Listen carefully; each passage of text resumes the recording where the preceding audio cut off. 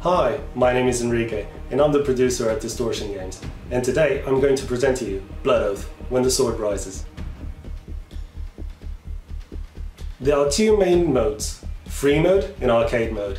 In arcade mode, you will be able to join a quick match where you'll find classic game modes such as Team Deathmatch, Capture the Flag, Last Man Standing, and many others.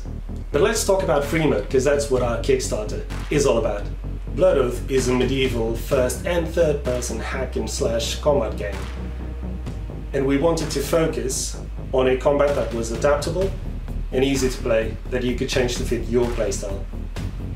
As such, you will be able to choose multiple options depending on the weapon you're wielding, giving you a unique style and look.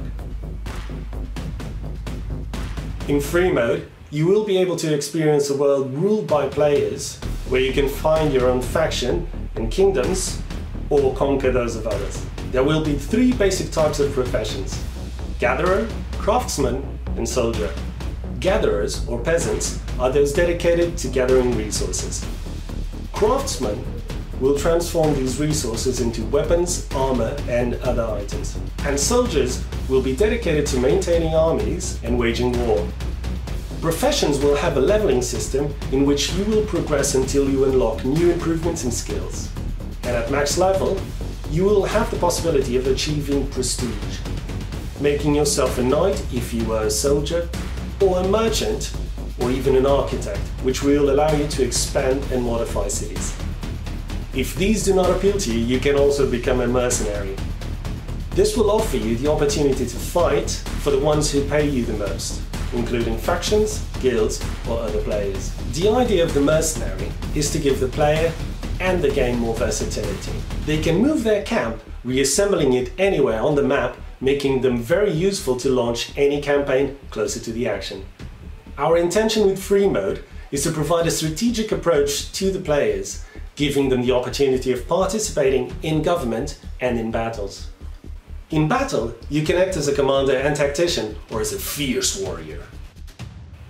So how is the government system organized? Well, it's composed by counts, dukes and kings, where every nobleman has permadeath, in which if they die 10 times, they die permanently and their heir will succeed them.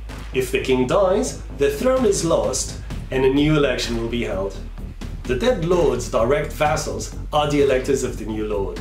For example, all dukes are electors of the new king. This system will allow new people to be introduced into politics, and nobles will not feel immortal, as they will need to maintain themselves in power. Defending your family and heirs is important for nobles due to the permadeath system. For other players, it will be useful as well, since you will have the opportunity to end your character and play as one of your sons or daughters. What about cities? The map will be divided in provinces. These provinces have a max of one settlement. Each provinces will have a series of valuable resources that will make them very attractive for creating a new village in the area. There are two ways of becoming a ruler of a city. One way is if a noble grants you a settlement, or if you get there first and build your own.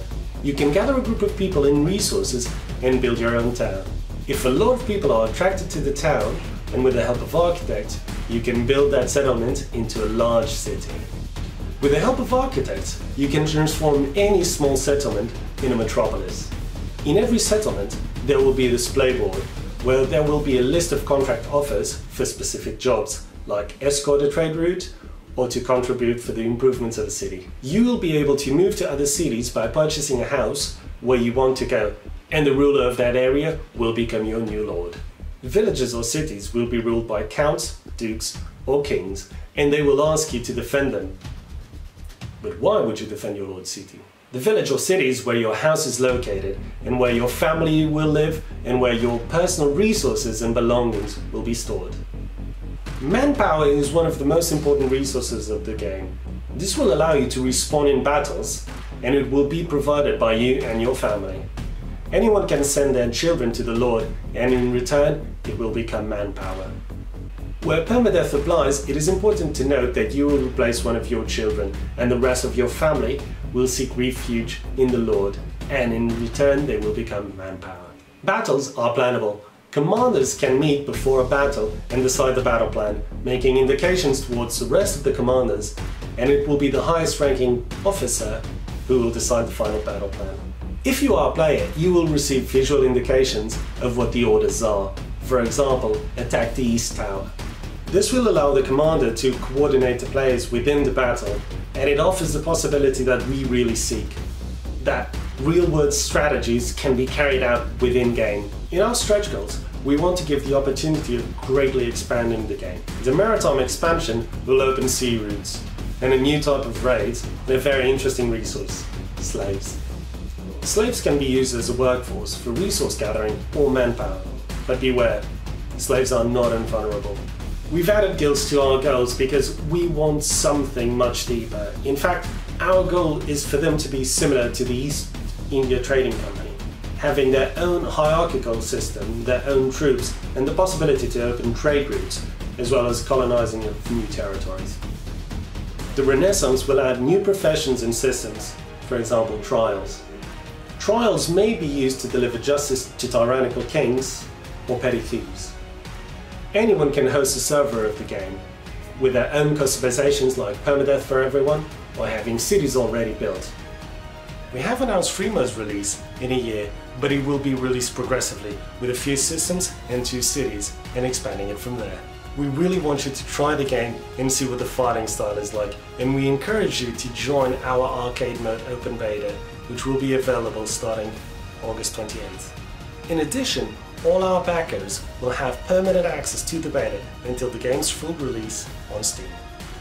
We want to have all of you participating directly in the development of Blood Oath when the sword rises, to grow the game and develop it with your suggestions, to build the game hand in hand with the community, trying to listen to each of your ideas. Therefore, we invite you to participate and share all your ideas on our Discord server. We hope to see you all on August 28th in the battlefield.